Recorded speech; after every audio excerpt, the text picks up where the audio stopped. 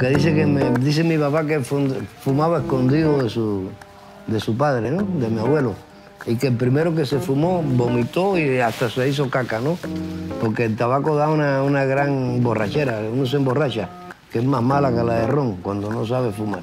A few years back, um, I got to sit down and have a cigar with Alejandro Rabina at his farm. He brought out this big tin, this metal tin. He's like, let me make you something. So he got out, rolled it. He's like, here, try this. And just smoking that it was one of the most was one of the most strongest cigars I've ever had. It was just amazing, the flavor and just that that moment, that time that I got to sit with him and just talk with him. And I actually brought him a, uh, a Padron Anniversario 1926 number one. He saw it, he kissed it, and he kind of almost had a little tear in his eye. And he put it right back in his pocket, right over his heart. and was just like my friend, my friend.